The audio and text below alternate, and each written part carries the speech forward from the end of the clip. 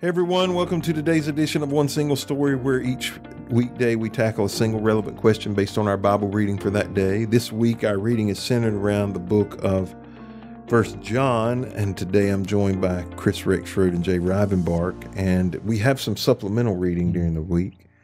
And the supplemental passage for today was Psalm 36. And he says, Sin whispers to the wicked deep within their hearts. They have no fear of God at all. In their blind conceit, they cannot see how wicked they really are. Everything they say is crooked and deceitful. They refuse to act wisely or do good. They lie awake at night, hatching sinful plots. Their actions are never good. But he, sa- he says th- that sin blinds us. There's this blind conceit that comes with it, and they, you cannot see how wicked you really are. We talk about sin blinding us. It's in a famous song. I once was blind, but now I see. But how does sin blind us? What does that remind us? I mean, how, how does how can we help people understand the things maybe that it blinds us of? I would say sin itself presents itself in a way that it's giving you what you want uh, for that period of time, but oftentimes it's it's riddled with some form of like cancer, and that's just going to eat away at some part of your life. And I think part of it too is that we can convince ourselves that we can handle it, that we can juggle it, and following God and not letting it get too far out of control. And that's like a lot of times I've taught my boys that when they're making decisions to choose wisely, to consider themselves almost like a, a manager outside of their body, looking in and asking, is this wise? Is this something that you that you should do? Mm-hmm. And if not, then you need to go ask your parents. Do they?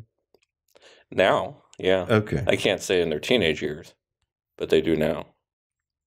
Well, Scripture uh, tells us many places, and, and, Jesus even described himself as the light of the world. Uh, light is, is the opposite of blindness in that there's clarity, there's illumination, there's there's insight, and so as relates to sin, I, I would describe it as an absence of the light of truth, which is Jesus. But some of the things that we do that contribute to that, and he talks about these. There's several of them here.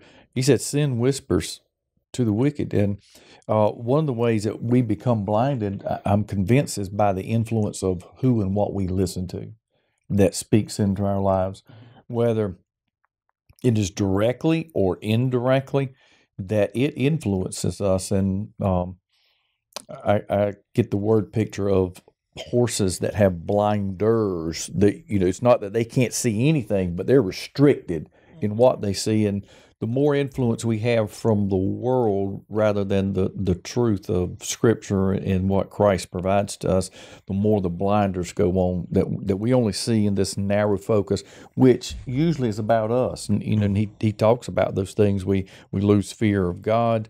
Um, the things that we say are crooked and deceitful.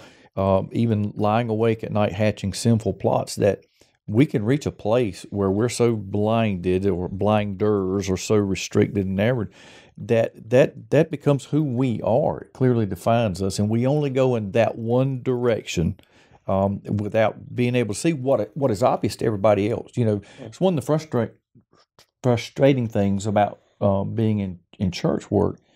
People that are in difficult situations and seasons and times and you're like, are you are you stupid? Or are you blind? well, the answer is yes. Mm-hmm. They are blind. They, their blinders don't allow them to see what's right beside them, the options that they may have, and uh, it's just a vicious cycle that I convinced that it just becomes worse and worse and worse and worse. And they don't want help; mm-hmm. they want relief. Yeah, absolutely, they want relief and rescue. Yeah, and there's yeah. a difference. Completely. Yeah, yep. a complete difference. Mm-hmm. There's so many ways, so many things that affect our vision you know you can be you can be able to see fine and have great periphery vision but if you're in a fog mm-hmm. or rain um, even sun yeah you know even light you know, it can distort keep vision. you from being able to see i had a friend who when we were in high school, he had if he hadn't had this car, I'm convinced he would be dead. But he had um it was it was um a Buick Riviera. Had the long nose on the front of it. And it was an old one, a big long nose. And he was coming along and the sun was shining right in his eyes. And there was a motor grader in front of him and he never hit the brakes. He hit Mm. that motor grader just doing 45, 50 miles an hour Mhm. and it crumpled that thing up and he walked away from it but the sun blinded Mhm. him you know there are there are things that it- it's not just it's not just th- th- there are situ, it's it's situational Yes. That can keep us um, from being able to see and um,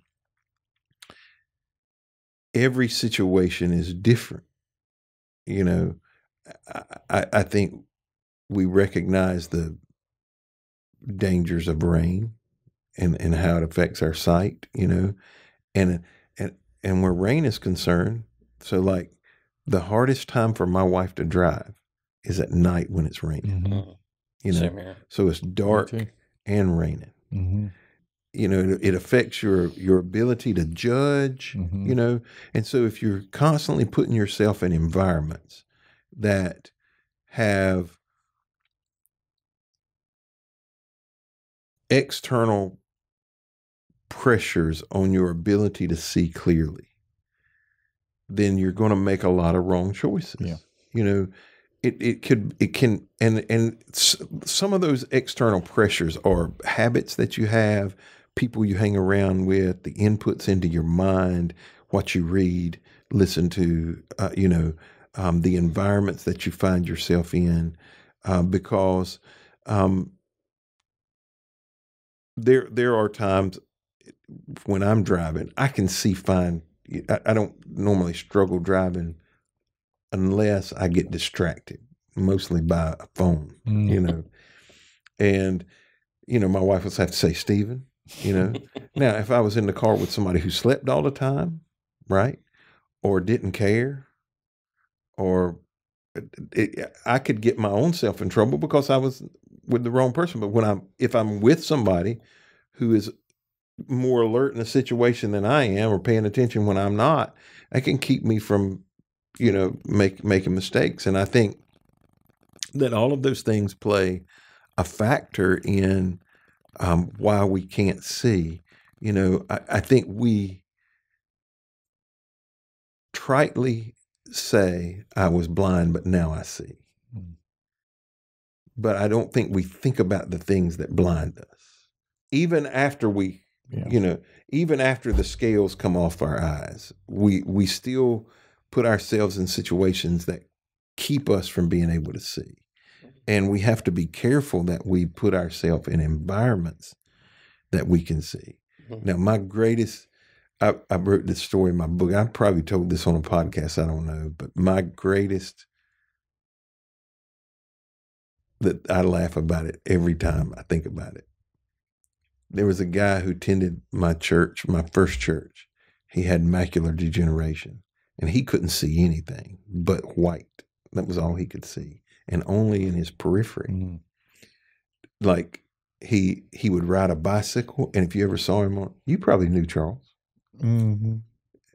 If you ever saw him riding a bicycle he was riding like this because he could see the white line he'd Yeah. ride along that white line if they want a white line he was in trouble we had we put a church sign up there and um you had to dig a, a hole four by eight and six feet deep Mm. for footers and he said, Brother Mizell, that's what he called me, Brother Mizell. He said, if you'll mark it with flour, I'll come out there and dig it. Mm. And I went out there with flour and marked where it was going to be. That cat dug that hole in Wow. an hour or two with a shovel. Wow. I mean, he was strong as an ox. Yeah. But this was after, okay, he had he used to be a preacher and um, backslid, was living in sin, hadn't been to church. And I don't know, six months after I'd been to church, we had a revival and he he came in to the revival. And then he came back another night. And the second night, um, the evangelist gave an altar call and he made his way down to the front and crying, you know, and, you know, repenting, getting his life right. And the evangelist um, got down there with him and was going to, was, pray, you know, what do you need? And he told him what he needed. And he, the evangelist took his Bible and opened it up in front of him. He said, You see, it says right here. and I'm still. I apologize. He needed a white letter edition. That's right. You forget Can that you red. put that in dark mode? Oh, that's terrible. anyway, Oh, anyway, fortunately, the evangelist, after a second or two, read it. You know, the Bible Mm. says, you know. Anyway, the service was over. We went back. The house was we were we were living in a single wide trailer at the time, right beside the church. And the evangelist and his wife came over, and I said, "I just got to tell you." That guy tonight, you were trying to get him because I was standing in the back about to die laughing. I said, "That guy you tried to get to read the Bible." tonight," I said, "He he's blind." Hmm. And in good evangelist spiritual fashion, he said, "I know he was blind." He said, "But praise God, now he can see." I said, "No, no, he can't." I said, "He's blind as a cave bat." And, and we got a big chuckle out of it. And um, but I think sometimes that we make it just that trite. I w- you know, yesterday we talked about. I think it was yesterday or the day before. Can we live a sinless life? My belief is we can. But I don't believe when we get saved that we can be unaware of how sin blinds us or how other things you, you talked about the systems a couple of days ago this, when we were talking about loving the world how the systems of this world deceive us and blind us to the mm. truth and cause us to either sin or accept sin you know there are churches right now in- are under immense pressure culturally over a couple of issues and if we're not careful we will allow them to blind us Mhm. to the truth of God's word and doing what is right and standing firm on what what the church what God believe would have us to do. And so when blind to seeing is not just a sin to salvation Yeah. issue, it's something we've always got to be aware of. Okay. Mm-hmm. Else we find ourselves in situations that we're not seeing clearly and Yeah. making choices. Well, thank you for joining us today on this edition of One Single Story. We hope you'll be back with us Monday as we start a conversation around the book of Second John.